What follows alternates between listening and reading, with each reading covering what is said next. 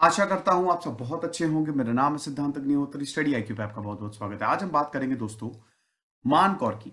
मान कौर की बात करें दोस्तों तो इनको हाल ही में नारी शक्ति पुरस्कार दिया गया है। आठ मार्च को वुमेन्स डे था दोस्तों, मेरा सेपरेट लेक्चर आया है वुमेन एम्पावरमेंट पे। देखा कि नहीं? ज़रूर देखिए। तो मान कौर की बात करेंगे, वर्ल्ड ओल्डेस्ट एथलीट है। ये इतनी बड़ी इंस्पिरेशन है, जिस उम्र में लोग रिटायरमेंट की तो छोड़िए, खटिया पे पड़े रहते हैं, बिस्तर पे पड़े रहते हैं, उस उम्र में ये भाग रही हैं।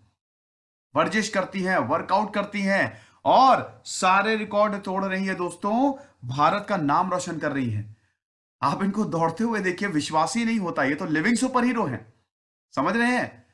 ये अगर जवानी में दौड़ती तो पक्का ओलंपिक में मेडल ले आती बट कोई बात नहीं रिटायरमेंट के बाद जो वृद्धों का ओलंपिक्स होता है, ठीक है, जिसको हम वर्ल्ड मास्टर्स चैंपियनशिप कहते हैं, वहाँ पे भारत के लिए गोल्ड मेडल लेके आ रही हैं। Guinness book of world record में भी इनका नाम रिकमेंड किया गया है। और आज हम मान कौर की बात करेंगे दोस्तों। आठ मार्च, यानी कि इसी संडे को दोस्तों पंद्रह औरतों को नारी शक्ति पुरस्कार दिया और उसमें मान कौर एक थी। तो हम देखेंगे इनकी लाइफ कमाल की स्टोरी है। चलिए आगे बढ़ते हैं।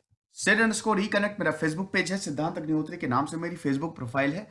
दोनों ही जगह लेक्चर की पीडीएफ ले सकते हैं सवाल भी पूछ सकते हैं। दोस्तों जब आप सवाल पूछते हैं मुझे पता है मैं मुझे थोड़ा सा मैं कभी कभी देर में रिप्लाई करता हूँ लेकिन मैं रिप्लाई सबको कर देता हूँ ठीक है? दो से तीन दिन कभी कभी लग जाते हैं। एक चीज़ बोलना चाहूँगा कि मेरी प्रोफ़ाइल पे सवाल मत पूछिए क्योंकि होता क्या है कि प्रोफ़ाइल में आ, कभी कभी मैं सवाल नहीं देख पाता हूँ ठीक है? तो अगर आप पेज पे पूछे सवाल मैं कई बार इसको बोल भी चुका हूँ तो ज़्यादा अच्छा रहेगा। दोस्तों आज आखिरी दिन है डिस्काउंट का बिल्कुल अवेयर करिए। अगर आप किसी भी एग्ज़ाम की तैयारी कर रहे हैं यूपीएससी की तो ऑलरेडी नोटिफिकेशन आ गई है। यूपीएससी ऑप्शनल्स के कमाल के हमने कोर्सेज बनाए हैं। तो दोस्तों, किसी भी एग्ज़ाम की आप तैयारी कर रहे हैं, हमने सबके लिए पेन ड्राइव कोर्सेज बनाए हैं। अब तो यूपीएससी ईपीएफओ का भी पेनड्राइव कोर्सेज अवेलेबल है। तो सब पे 70 परसेंट ऑफ़ है। इन नंबर्स पे कॉल करिए वेबसाइट विज़िट करिए, आपको बहुत ज़्यादा फ़ायदा होगा। अब मैं ट्विटर पे भी आ गया हूँ दोस्तों, ये रही मेरी आईडी आप मुझे ट्विटर पे भी फॉलो कर सकते हैं। तो कौन है मानकौर?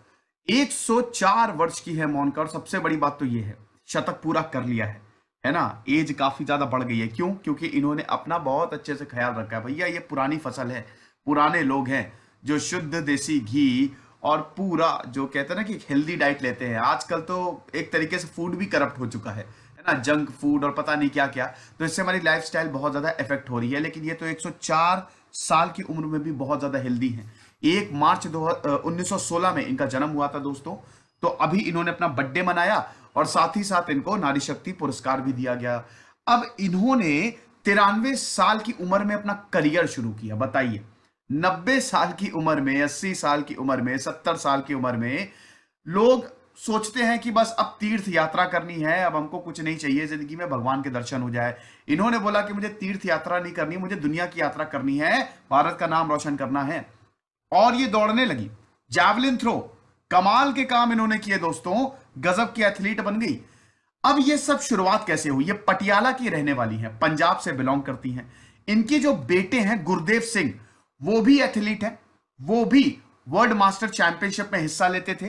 तो एक बार क्या हुआ कि इन्होंने अपनी माताजी से बोला, ये 2009 की बात है। इन्होंने अपना करियर 2009 में शुरू किया था। ठीक है? तो उन्होंने इनसे बोला, अपनी माता जी से, कि बेबे, आप इतनी तंदुरुस्त हो, इतना बढ़िया काम करती हो तो एक काम करो, आप दौड़ती क्यों नहीं? अब ऐसा इन्होंने इसलिए बोला था क्योंकि वर्ल्ड मास्टर चैंपियनशिप में इन्होंने बहुत वृद्ध लोगों को दौड़ते हुए देखा था। बेसिकली वर्ल्ड मास्टर चैंपियनशिप जो है ना सीनियर सिटीजन का ही ओलंपिक बोला जाता है ये। जो लोग रिटायर हो चुके हैं और जो बड़े फिट हैं, वो इसमें पार्ट ले सकते हैं।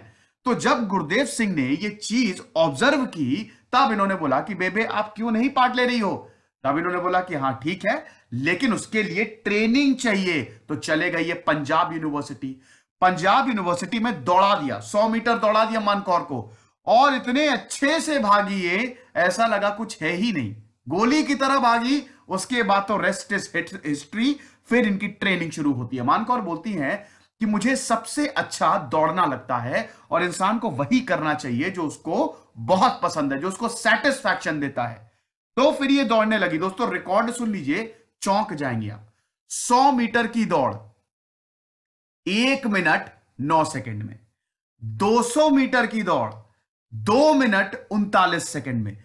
400 मीटर, आधा किलोमीटर 400 मीटर की दौड़, छह मिनट, दस सेकेंड में। जैवलिन थ्रो साढ़े पाँच मीटर। इतनी ज़बरदस्त एथलीट दोस्तों, इतना फिट कि बड़े बड़े लोग शर्मा जाए यंगस्टर शर्मा जाए। आज तो आजकल तो वैसे भी कोई वर्कआउट नहीं करता है, ठीक है? और ये मन कौर जो है, वो इतना स्ट्रिक्ट डाइट डिसिप्लिन फॉलो करती हैं कि क्या बताएँ, दौड़ना है। और अब तो जापान में जो वर्ल्ड मास्टर चैंपियनशिप होने वाली है, सारी नज़रें वहाँ पे हैं। गोल्ड मेडल ये जीत के लाई है दोस्तों। अमेरिकन मास्टर गेम और वर्ल्ड मास्टर गेम में इन्होंने गोल्ड मेडल जीता है। 2017 में जब इन्होंने वर्ल्ड मास्टर गेम में पार्टिसिपेट किया था 100 मीटर 100 मीटर से इन्होंने शुरुआत की थी, ठीक है? 100 मीटर दौड़ से इन्होंने शुरुआत की थी, अकेली ही दौड़ रही थी, क्योंकि और कोई था ही नहीं। इतनी हिम्मत कहा कि 100 साल की उम्र में 90 80 70 साल की उम्र में कोई दौड़ जाए दौड़ जाए? बहुत हिम्मत की बात है ये, है ना? बहुत ही स्ट्रिक्ट डिसिप्लिन तो अकेली ये दौड़ रही थी फ़ील्ड पे, और पूरा जो ग्राउंड था, जो वहाँ पे लोग बैठे थे, वो खड़े होकर तालियाँ बजा रहे थे, ठीक है? वो फुटेज अवेलेबल है, दोस्तों, आप देखिएगा। धीमे धीमे दौड़ रही थी, लेकिन कमाल का काम किया। अकेले ही दौड़ी, क्योंकि और किसी की हिम्मत ही नहीं, बाकी सबने विड्रॉ ही कर विड्रॉ क्या मतलब? ज़्यादा पार्टिसिपेंट भी नहीं थे। ठीक है? तो मान कौर ने अपना करियर तो 100 मीटर से शुरू किया, लेकिन ये 400 मीटर तक गई। इनका जो पूरा शेड्यूल है, वो बहुत ही डिसिप्लिन है। अब आपको पता ही है कि ऑस्टियोपोरोसिस बोन लॉस होता है, ठीक है? जैसे जैसे वक्त बढ़ता जाता है वैसे वैसे हमारी बोन डेंसिटी कम होती जाती है। मान कौर के साथ भी यही हुआ। और अगर एक बार आपकी हड्डियाँ कमज़ोर हुई तो आप फ़िज़िकल एक्टिविटी करने में बहुत ज़्यादा दिक्कत हो कि आप देखते हैं ना कि जैसे जैसे इंसान बूढ़ा होता जाता है वैसे वैसे उसको बीमारियाँ लगती जाती हैं, उसकी हड्डियों में दर्द शुरू होता जाता है बोन डेंसिटी कम होती जाती है। लेकिन मान कौर ये सब कंपनसेट कैसे करती है? प्रॉपर डाइट लेके एक्सरसाइज करके। और अब तो यूनिवर्सिटीज में जाती है स्टूडेंट्स को बताती हैं कि खूब अच्छे से एक्सरसाइज करो, खाना लो प्रॉपर सुबह छह बजे उठ जाती है ट्रेनिंग करती हैं। डेली, बताइए, डेली 20 किलोमीटर दौड़ती है। वाह 20 किलोमीटर तो दोस्तों डेली मैं भी ना दौड़ पाऊँ। 20 किलोमीटर बहुत हो गया, थोड़ा इमेजिन करिएगा। ठीक है ना, एक छोटा शहर पूरा 20 किलोमीटर, एक गाँव पूरा 20 किलोमीटर में सिमट जाता है। ठीक है तो डेली 20 किलोमीटर दौड़ते हैं और उसके बाद जिम जाती हैं। जिम जाती हैं, फिट रहती हैं, फिर प्रॉपर डाइट लेती हैं ये। ठीक है ना, अगर हम बात करें कि इनकी डाइट में क्या क्या आता है तो दोस्तों, सोया मिल्क लेती हैं। ठीक है व्हीट ग्रास जूस लेती है नट्स लेंटेज चपातीज प्रोटीन दोस्तों, आपको पता ही होगा कि वर्कआउट के लिए प्रोटीन बहुत ज़्यादा ज़रूरी होता है। अगर आप वर्कआउट कर रहे हैं तो एक्सरसाइज से ज़्यादा, ठीक है, आपको रेस्ट और जो डाइट है, वो बहुत इंपॉर्टेंट होती है। उसमें प्रोटीन और कार्बोहाइड्रेट जिसको काप्स कहते हैं, बहुत ज़्यादा इंपॉर्टेंट होता है। प्रोटीन 1.2 ग्राम पर केजी से लेकर 1.8 ग्राम पर केजी तक चाहिए होता है, ठीक है ना? यानी कि मान लीजिए कि अगर आपका 70 किलो का वेट है और अगर आप बॉडी बिल्डिंग कर रहे हैं, या आपको फिट रहना है, या आपको बॉडी बनानी है मसल गेन करना है तो ये आपको लगभग लगभग 110 ग्राम प्रोटीन या फिर 120 ग्राम प्रोटीन तक, या 100 ग्राम मतलब मिनिमम 100 ग्राम तो लेनी पड़ेगा 70 केजी। आप देख लीजिएगा 1.2 ग्राम पर केजी के हिसाब से होता है, और ये ज़्यादा भी नहीं प्रोटीन ज़्यादा अगर आपने ले लिया तो बेकार जाएगा, वो वेस्ट जाएगा। जितना है, उतना ही लेना है प्रोटीन समझ रहे हैं ना? तो प्रोटीन और कार्बोहाइड्रेट्स बहुत ज़्यादा ज़रूरी होती है। मन को और अपने डाइट में ये दोनों चीज़ें लगती, रखती हैं। तभी तो इतनी उम्र में दौड़ पा रही हैं। ठीक है? तो ये चीज़ है। उसके बाद दोस्तों इन्होंने चैंपियनशिप में हिस्सा लेना शुरू किया। अब चैंपियनशिप में इन्होंने हिस्सा लेना शुरू किया तो ये सौ मीटर की दौड़े, जैवलिन थ्रो शॉर्टपुट ये तीनों गेम्स में। और यूजुअली जो वर्ल्ड मास्टर्स में जितने गेम्स होते हैं, जिसमें ये हिस्सा ले सकती हैं, उन सब में हिस्सा लेती हैं और मेडल जीत के लाती हैं। 20 से ज़्यादा मेडल इन्होंने जीते अभी तक मास्टर्स गेम्स में, जहाँ जहाँ ये गई हैं। और इतना लेट करियर शुरू किया इन्होंने, उसके बावजूद। ठीक है? और अब तो ये कोचिंग भी देती हैं, जो यंग एथलीट्स हैं, उनको समझाती भी हैं, पढ़ाती भी हैं कि कैसे आप अपनी बॉडी को सही रख सकते हैं फिट रख सकते हैं, ताकि आप प्रॉपर एथलीट बने। ठीक है ना? तो ये चीज़ है। अभी दोस्तों, हाल ही में 2018 में हमने देखा कि कनाडा में वर्ल्ड मास्टर चैंपियनशिप हुई, अमेरिका की मास्टर चैंपियनशिप हुई, उससे पहले स्पेन में हुई थी, पोलैंड में हुई थी, सब जगह सब जगह मेडल जीत के आई। पोलैंड में जो चैंपियनशिप हुई थी दोस्तों, उन्होंने, उसमें तो इन्होंने चारों के चारों इवेंट में गोल्ड मेडल जीते। ठीक है शॉर्टपुट में भी इनको गोल्ड मेडल मिला जैवलिन में भी गोल्ड मेडल मिला, साठ मीटर डैश में भी गोल्ड मेडल मिला, दो सौ मीटर दौड़ में भी गोल्ड मेडल मिला। ये तो कमाली है। दोस्तों वैसे हमारे और भी एथलीट्स हैं जो आ, उनकी उम्र हो गई है लेकिन कमाल का उन्होंने काम किया है। भारत के लिए इंस्पिरेशन इसमें एक फौजा सिंह भी आते हैं एक निहाल गिल भी आते हैं। इन्होंने भी कमाल का काम किया है। और मन कौर तो है ही जो बहुत ही अच्छा कर रही हैं। फिर उन्होंने दोस्तों जो ऑकलैंड में वर्ल्ड मास्टर चैंपियनशिप हुई वहाँ पे इन्होंने 100 मीटर की दौड़ है वो सिर्फ़ और सिर्फ़ चौहत्तर सेकेंड में पूरी कर ली। बहुत ही बढ़िया। धीमे धीमे दौड़ती हैं लेकिन अब इनकी स्पीड भी काफ़ी तेज हो गई है। ठीक है?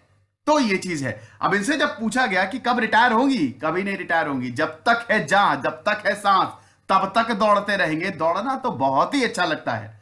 ठीक है? स्पेन में भी दोस्तों, स्पेन में भी इन्होंने मेडल जीता जो स्पेन में 2018 में, जो मलागा में world masters athletic athletic championship हुई थी। ठीक है? और अभी रामनाथ कोविंद, जो हमारे राष्ट्रपति है, रामनाथ कोविंद की बायोग्राफी मैंने रिव्यू की है दोस्तों, मेरी दो सीरीज़ आप ज़रूर देखिएगा तो प्राइम मिनिस्टर सीरीज़ और एक प्रेसिडेंट सीरीज़ आज़ाद भारत के बाद जितने भी प्रधानमंत्री हुए उन सबकी बायोग्राफी रिव्यू की है। इंडिया आफ्टर इंडिपेंडेंस आपको पता चल जाएगा। साथ ही साथ आज़ाद भारत के राष्ट्रपतियों की बायोग्राफी भी मैंने रिव्यू की है तो वो भी पता चल जाएगा। तो रामनाथ कोविंद की भी बायोग्राफी अवेलेबल है। ठीक है, बताता रहता हूँ, क्योंकि आप लोग सवाल पूछते रहते हैं इनकी बायोग्राफी तो रामनाथ कोविंद ने अभी नारी शक्ति पुरस्कार दिया 2019 तो वो मन कौर को भी दिया इंटरनेशनल वुमेन्स डे 8 मार्च को जो होता है तो 8 मार्च को मन कौर को अवार्ड मिला, ठीक है? और भी औरतों को दिया गया। तो ये चीज़ें वैसे मोदी जी ने भी इनका आशीर्वाद मांगा है। मन कौर बहुत बड़ी है 104 साल की है तो मोदी जी ने भी इनकी ब्लेसिंग्स मांगी है, ठीक है ना?